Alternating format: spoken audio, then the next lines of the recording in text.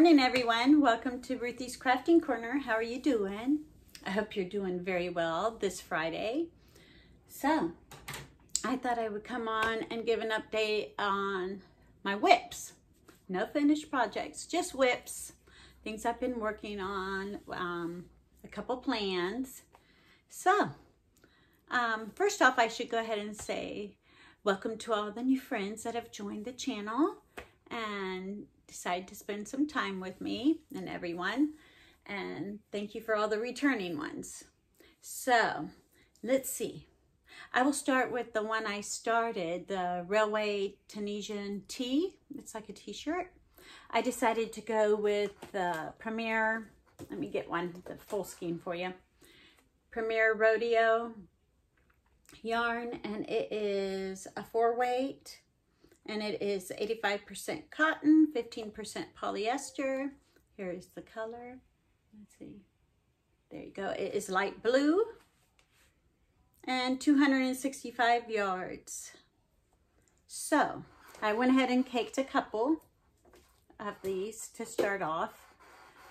I was trying to decide if I wanted this yarn or another one. Oops, got my hook stuck in another yarn. Oh no. There we go. So this is the Tunisian hook on a cable so that it can hold all the stitches. There's a, ah, sorry, there's an end. So here it is starting off. And um, I'm hoping that this yarn is uh, going to be really a good choice. It seems like it will be very drapey I, I'm working on it and, you know, I didn't know if the, the yarn would split because it's like a twisted color, you know, together. So it, it's doing okay. I had a couple spots. I almost went with this one though.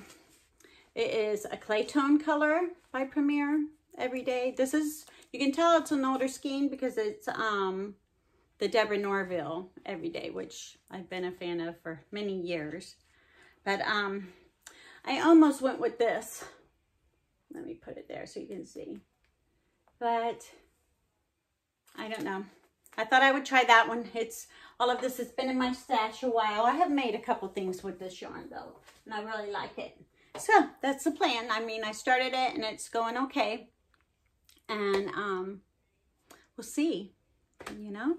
That's only been like two days worth, so I hope to spend a little more time on that. My baby blanket, let's see. I'm in the middle of a row, unfortunately. I wish I would have done some this morning, but just got back from a walk, so I didn't really have time to start, finish the row, but I wish I could show you it stretched out better, but I can't. But anyhow, from where I was last time, let me show you. Here is the stitch marker right there. So I had done this much to here when you when I saw you last. So I have done from here to there. So that's a good bit, you know. So I'm happy with that. And um, the pattern actually called for a four weight, but my cousin wanted a, um, what was it? A knit pale yellow. So I, I could only find this one. So I'm probably going to have to use this whole skein for that blanket to be a nice size. And it is, let me grab another one. I got another one just in case. it is the Bernat Baby Sport, just as a reminder. And I will show you the pattern. Here it is. Let's see if I can bring it close up. Right there. Now, it's not a big baby blanket. I mean, you know, but I want to finish one whole skein anyway. And the scalloped edge is, um, you pick up your stitches, which I'm hoping I can do that. I'm just going to take my time and follow the directions, you know. But I thought, oh, I really like that. But I could always um, have crocheted it and then have best of both worlds and probably get done faster. But I'm going to try to do it. It's um, called a shell edging and it's three rows. So we will see. I think it'll be really nice. And um, let me grab something real quick. It's over here. So since my last video, the last video was probably two weeks ago. Anyhow, after that, I started doing um, a Scrappy Sunday project. And I decided to follow the lead from Ashley from Stitching Ain't Easy. And she and her family were doing this beautiful blanket. It's like, you know, it was a surprise family blanket. Some her whole family got involved. Each one would pick a um, you know, a, a you know, one of her scrap yarn balls and it would be a surprise to her and all of us watching. Anyhow, so I did the heart shape, which is how she started her blanket. And I'm just choosing um, random scrap that I have. And hopefully I'll get more as I make more projects. Like I still want to make so many things and I'll be able to have more scrap yarn to carry on. But here it is so far. So the first Sunday I did the heart with the white background. And this last Sunday I only did from the purple to the gold. It's a gold color. So these are scraps I've had. So, so it will be my Sunday project, just, you know, scrappy Sunday. And I'll work on that on Sundays. And then I'd like to start another scrappy Sunday using DK yarn, DK weight yarn, the three weight, because I have a lot of that. And I thought, well, if I only have like two skeins or whatever, and not enough to make a whole project, you know, I might be able to make like hand warmers or slippers or something. I'll have to see. But any of my leftovers, I would like to make a corner to corner Scrappy Sunday blanket. So that's what I will start with. This one and the DK Weight Scrappy Sunday. Those will be my Scrappy Sunday projects. There you go. And let's see.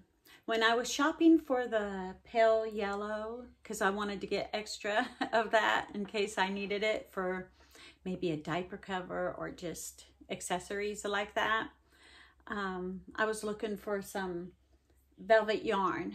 It, it, actually, it was Mainstays velvet yarn. And um, I saw Angelia from the Crocheting House Mouse make this classic bunny. Let me see. Let me get my notes. The classic crochet bunny. It's an Easter favorite, but it could be like a little gift for anybody. And it's by One Dog Woof. So, I'm going to start that. but I got I found some of the yarn when I was shopping at different places looking for the pale yellow yarn. So this one is Mainstays Velvet Yarn. It's a six super bulky. This color is what? Multi, neutral multi. So there you go. See, it has the grays and some brown. Where is it brown? Kind of brownish. I got, that'll be a neat rabbit, you know. So I got two skeins. I got two skeins of each one I'm going to show you. And I got a white. And I can just see the pink little nose showing up so well on the white. I got two skeins of that. And it's really soft. And it is a toy, so why not buy this velvet yarn? And I was so blessed to have found it at one of the Walmarts because I was just trying to go in my area. I couldn't even find it at Joann's online, the pale yellow, but so I got this. I could not resist this one. See how pretty that color is? Let me put it. I'm getting a glare from my window, I see. Let's see. There, maybe that's better. This color is, mm, where is it?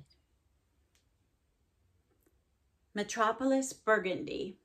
So yes, guess who's going to be making the little bunny, the crochet bunny? Me, and I'm so excited. I can't wait. I want to start one this weekend. I can start one anyhow while I'm doing the baby blanket and the um, the Tunisian railway shirt. So I think that is about it that I have to share today. I'll probably have another video up and um, it is going to be what I call a naturescape. My husband and I went for a walk. It was, I think it was, it might have been this week, early, you know, the beginning of the week, Monday or something. We were going out and I saw something on the, the, you know, the landing, the, the grass area of the uh, retention pond I live by and there's a conservation lot. So nobody, you know, it's all woods and everything. And I wasn't sure what this was. So there was a family of otters. So I got them and some sandhill cranes. So I'm going to share another video of that. It's just going to be my naturescape because I just love anything, you know, nature and, you know, anything outside. I'm all about that actually it's such an inspiration, you know, hopefully in my future, the things that I want to, you know, once I go through the scraps is to buy yarn for certain projects pertaining to things that inspire me, whether it be the ocean or, you know, things like that, be more personal in the relationship of what I create, unless I have a project someone asks for. But anyhow, as I ramble, I want to wish y'all all a happy weekend and have a, you know, a safe weekend and enjoy it. And I will chat soon. All right? Have a blessed day. Bye.